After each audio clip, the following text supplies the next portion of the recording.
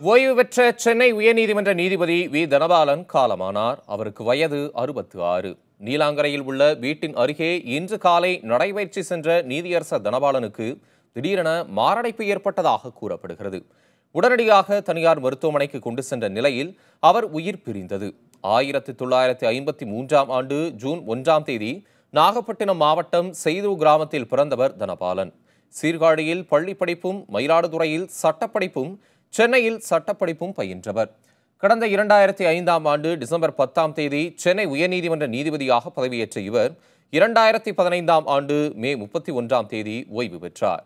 பாலியல் தொந்தரவுகளில் இருந்து பெண்களை பாதுகாக்கும் வகையில் உயர்நீதிமன்றத்தில் பாலின புரிந்துணர்வு மேல்முறையீடு உள் விசாரணை குழு இரண்டாயிரத்தி பதிமூன்றாம் ஆண்டு அமைக்கப்பட்டது.